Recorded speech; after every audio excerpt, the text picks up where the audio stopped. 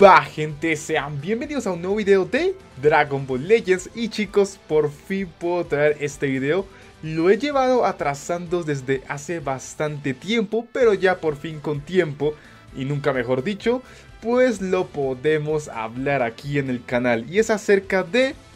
Sí chicos, ¿Qué tan pay to win es Dragon Ball Legends? Así que vamos a comenzar chicos Aquí tenemos a Shenlong, creo que luego lo colocaré en otro video, supongo.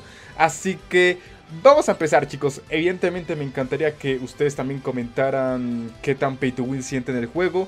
Es demasiado necesario, ya sabes, invertir algunos billetes o colocar dinero en el juego. Quiero que me lo digan en los comentarios. Así que vamos a darle, gente. Porque con lo que vamos a comenzar es con el tema de los cristales regalados. Evidentemente, hay cosas que son bastante buenas para el juego y otras cosas que son bastante malas. En esta ocasión los cristales yo creo que se encuentran entre el punto bueno y malo, ya que los regalan pero también se pueden comprar. En esta ocasión chicos estamos en el récord de cristales del mes pasado, también tengo el de este mes, de la primera parte de aniversario si no estoy mal. Así que aquí podemos ver que nos dieron un total de 19.000 cristales de manera totalmente gratis. Obviamente, si tú no juegas mucho PvP y no juegas mucho el torneo del poder, más o menos tendrías como 16.000 cristales o 13.000 cristales, pero igual es una buena cantidad. Así que, con esta parte yo creo que el Dragon Ball Legends ha representado ser un gran juego gacha, pero de los pocos en que en realidad te regalan bastantes cristales o demasiadas cosas. Así que aquí tenemos gente los cristales del comienzo de aniversario que serían un total de 20.000 y todavía tenemos muchos más porque ahora estamos casi en la segunda parte y he podido recolectar demasiados, pero creo que aquí no los tienen en cuenta. Eso sí, si no juegan PvP tendrían como 15.000 cristales o bueno, dependiendo de su ranking y si juegan el torneo del poder, pero en total serían 20.000 cristales. Más o menos este juego eh, cada mes te da como de 15.000 cristales a 20.000. Ahorita como estamos en fechas de aniversario, están como 20.000, 19.000 y todo eso. Pero lo que voy a decir chicos es que todo depende, ¿vale? Todo depende porque hay gente que lo lleva al límite. Ahora, yo soy de los que he gastado en este juego, o sea, no es nada nuevo. Y yo cuando me tomo la paciencia de gastar en este juego, ok, yo pienso que solo para sacar un personaje yo creo que está bastante bien y no es pay to win. Como ya les dije en un video, los cristales no importan y es que yo en algún momento he tirado 30.000 cristales y no me toca el personaje. Y a lo mejor alguien con 30.000 cristales le sale como, yo que sé, cuatro veces y ya lo tendría bastante decente. Así que hay que verlo con ambos ojos, dependiendo de la suerte, porque a ver, nada te garantiza nada. Por ejemplo, algo que yo sí considero pay to win y esto es en exceso, serían los cristales estos que te pueden dar Z Power de Ultra, Z Power de LF. Yo creo que esto ya, ya me pesa, ¿vale? Esto ya me pesa. Pero yo pienso que si tú quieres gastar cristales para tener una copia de un personaje, no me parece tan pay to win.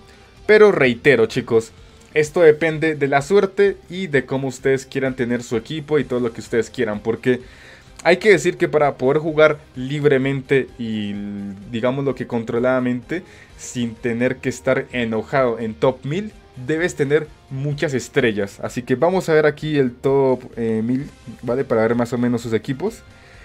Porque claro, si tú quieres competir en ligas altas, pues necesitas muchas estrellas. Así que vamos a ver por acá los equipos y más o menos las estrellas. Así que bueno, aquí tenemos, eh, mira, Gogeta Blue Ultra a full rojas. Hit Ultra a tres rojas. Aquí tenemos igual, como gente que sabe jugar demasiado bien, como gente que es pay to win y también saben jugar demasiado bien. Jiren Full Power a full rojas, los duales a full rojas, Bellito Ultra full rojas, los Bubros a full rojas. Mira, hay mucho personaje que está a full rojas normalmente.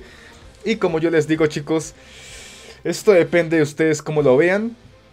Otra cosa que quiero añadir es que hay mucha gente que le tira cristales a banners innecesarios. Por ejemplo, el banner este de Broly Ultra, yo no lo veo necesario, así no tenga el personaje, aunque sí lo tengo, no lo veo necesario, ¿vale?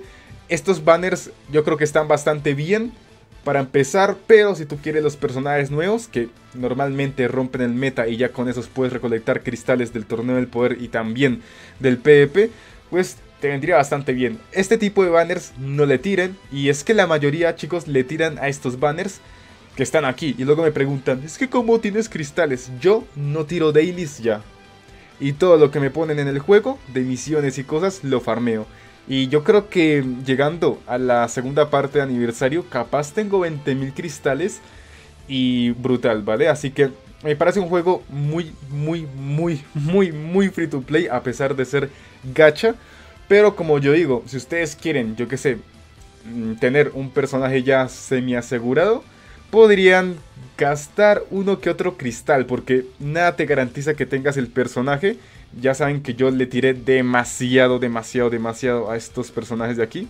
A Goku y Freezer. Y al último, pues mira, me salió ahí en una rotación media bruh, pero bueno, es lo que es. Como yo les digo, en el video de los cristales no importa, te podría salir en la primera multi, te podría salir en 10 rotaciones. Así que es un poco dudoso comentar acerca de qué tan pay to win es este juego, pero obviamente si hay casos, como por ejemplo llevar los personajes a full estrellas rojas, comprar lo que son este tipo de ofertas que son bastante caras, pero al último sí te dan eh, cosas poderosas, porque mira, te dan Z Power de Ultra, 2000 cristales por cada compra, más o menos te darían como 6000 cristales, eh, Z Power del F, Z Power de mm, Ultra, que esto es nuevo. Así que ustedes me pueden decir en los comentarios qué tan pay to win tú tienes que ser para mm, estar en el juego. Yo creo que lo pay to win sería comprar estas ofertas a cada rato. A cada, cada rato. Yo creo que una compra al mes no está mal. Pero si hay gente que se pasa, ¿vale? Hay gente que se pasa y obviamente los personajes van a estar mucho mejores si están a estrellas altas. Así que bueno, aquí podemos ver quizás más gente pay to win. Vamos a revisar. Claro que sí, claro que sí. A ver, yo creo que sí, mira. Full rojas, bro. Mira, full rojas. Así que esta es la gente que obviamente tú les puedes ganar siendo free to play con habilidad, tirando bien el Rising Rush. Pero el tema de los personajes es el pilar central de este juego. Obviamente sin los personajes este juego no existe. Y si tú tienes los personajes a full rojas, pues obviamente tu probabilidad de ganar es mayor. O sea, hay muchos formatos, o bueno, formatos no, como que reglas para que tú ganes. O condiciones, ya sabes, la habilidad, eh, tener los personajes a más estrellas, el Rising Rush, que si hay lag, que yo que sé, hay efectos de parálisis y ese estilo de cosas definen una partida, pero principalmente son los personajes. Así que yo digo que, por ejemplo, si tú eres free to play, bro, y gastas, yo que sé, 30.000 cristales en un solo personaje y lo tienes, yo que sé, a 4 estrellas rojas, yo creo que eso está bastante bien y no te deberían tachar de pay to win porque tú los ahorraste y todo eso. Y con ese equipo tú podrías llegar a top 1000 en el rank de PvP, incluso también en otras cosas. Pero bueno chicos, quiero que me lo comenten en los comentarios qué piensan acerca de esto. Y ya está gente, dejen un like si les gustó y ahora sí nos vemos en el siguiente con más.